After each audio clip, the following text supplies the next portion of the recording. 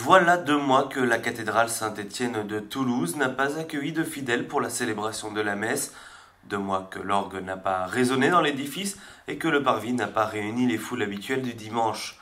Le premier plan de déconfinement mis en place par le gouvernement semble avoir mis de côté la reprise du culte.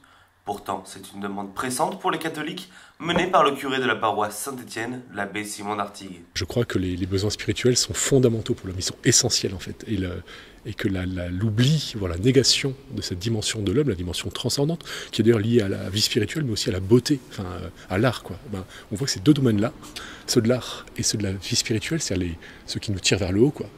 Ben, le gouvernement semble les, les considérer en tout cas comme secondaires, comme non essentiels. Ben moi, c'est pas.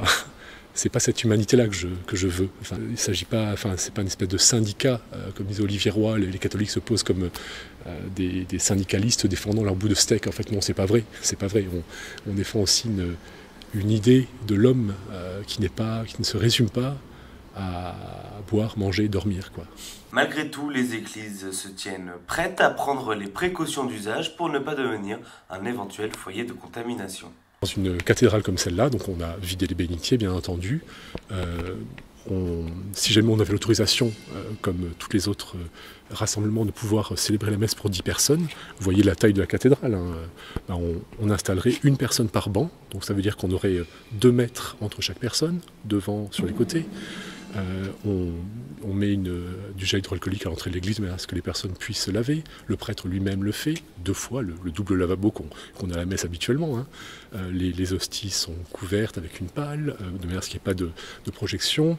Dans les processions, les personnes sont, on a fait des va faire des marquages au sol. Il n'y a pas de raison que nous, nous ne soyons pas capables de mettre en œuvre ce que les entreprises, les transports en commun, les écoles mettent en œuvre. Je veux dire, on est autant citoyens responsables et adultes que les autres. Des citoyens responsables qui ont bien entendu respecté le confinement jusqu'à présent et ont permis, malgré tout, aux fidèles de venir se recueillir dans les églises. Les églises sont toujours restées ouvertes, la cathédrale est toujours restée ouverte. Euh, les gens peuvent venir y prier euh, euh, du matin à 8h, au soir 19h. voilà, ils peuvent venir et des gens viennent, heureusement. donc moi j'ai continué à célébrer la messe, alors sans peuple, si ce n'est les, personnes qui habitaient avec moi au presbytère. là maintenant, depuis qu'on a le droit on a le droit de rassemblement de 10 personnes dans des lieux privés. Je vais célébrer dans les familles qui le demandent tous les jours. Euh, voilà, mais ça a un côté un peu, vexatoire et même ça a un côté un peu paradoxal. Je célébrais hier dans un salon de, je sais pas, peut-être une trentaine de mètres carrés ou une vingtaine de mètres carrés, c'est qui est grand. Euh, il y avait 11 personnes, euh, alors qu'on m'interdit de célébrer dans la cathédrale qui fait 2800 mètres carrés Enfin, c'est quand même l'Église qui est le lieu de la célébration des sacrements, c'est l'Église qui est le lieu de la célébration de la messe, du rassemblement des catholiques. Donc euh, voilà, il y a quelque chose d'un peu, paradoxal, voire même d'un peu dangereux en fait, de, se réunir dans des lieux finalement plus, bien plus restreints. Cette interdiction dénote, selon l'abbé d'Artigue, le risque d'un affaiblissement des libertés fondamentales dans le monde d'après, tant dépeint par le gouvernement.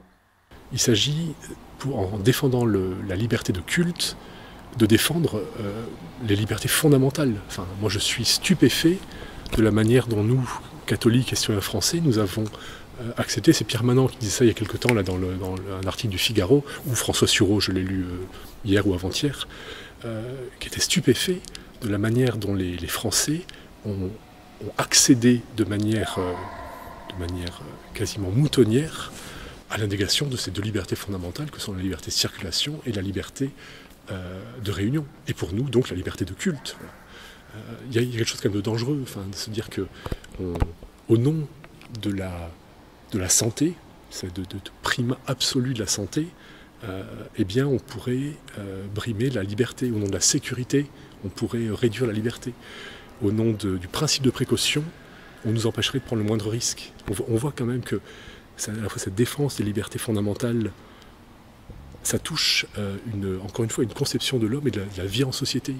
Euh, finalement, une, vie en société où le seul horizon serait d'être en bonne santé, de ne rien risquer et de ne cesser de prendre des précautions, je ne suis pas certain que ce soit moi la société dans laquelle je veux vivre. Euh, vous savez, ce monde d'après dont on nous parle, je crois qu'il se prépare là, hein. il se prépare dans ce qu'on vit actuellement. Quoi. et ben, moi, je préfère donner comme horizon à, nos concitoyens et aux catholiques euh, la sainteté, plus que la santé. En attendant le retour des cérémonies dans les églises, vous pouvez toujours vous tourner vers Saint-Roch, patron des professionnels de santé, ou adresser une prière à Saint Antoine de Padoue dans l'espoir de retrouver ce qui vous est cher et semble perdu.